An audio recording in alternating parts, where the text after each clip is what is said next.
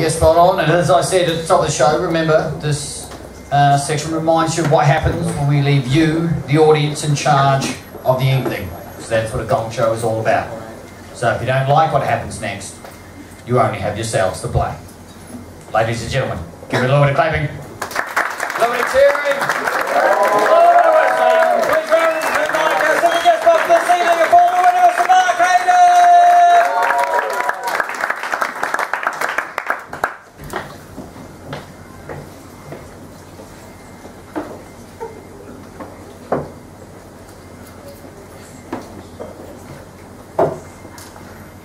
So, um, anybody here ever watched the film The Hunger Games? My God. What a bag of shit!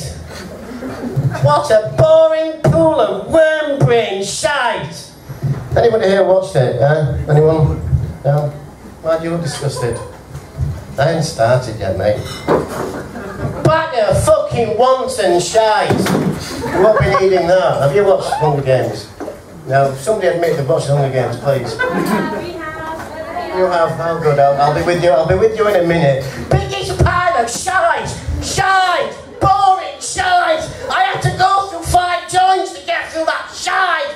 Boring shite! She's the heroine of the film though, she killed five people! She was in a tree for half the fucking film! I'm so safe! Aren't I safe in a tree? You cheating bitch! It's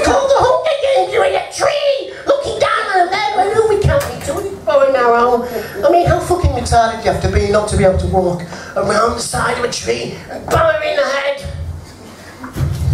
Shite! My God.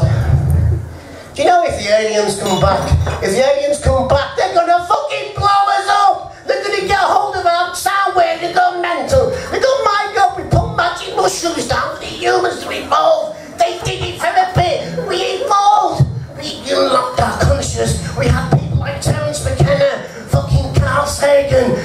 Chomsky. Noam Chomsky gets hold of the bitch that wrote this book. He'll get his 83-year-old cock, smack around the face with it, and said this book seemed like it was written by Enid Blyton with Down syndrome.